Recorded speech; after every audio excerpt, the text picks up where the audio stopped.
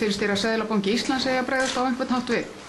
Við erum í góðu samstarfi við Sælabankunum þessi mál og þeir munu taka sínar ákvarðanir eins og þeir telja réttastar. En þú svaraði því ekki hvort ég finnist að nætti að bregðast á einhvern hátt við. Ná, ég svaraði því ekki það vegna þess að ég ætla ekki að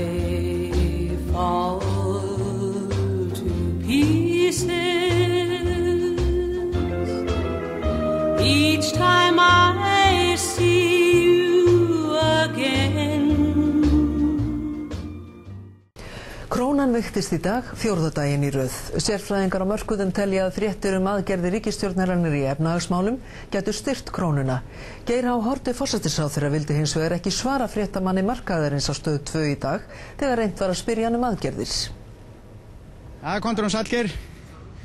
Já, hvar eru peningarnir sem að þurfa að komast inn í landið? Á þetta vera viðtal? Já, ég vil, vilja fá aðeins að he- heyra um þetta. Eh, st- Það er samband fyrirfram. Geir, þjóðin náttúrulega býðir eftir einhverjum aðgjörum frá ríkistjórninni. Getur ekki gefið okkur smá komment?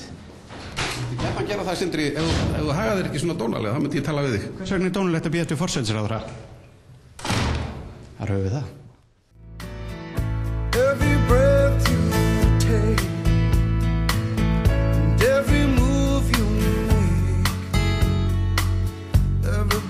Bond you every step you take, I'll be watching.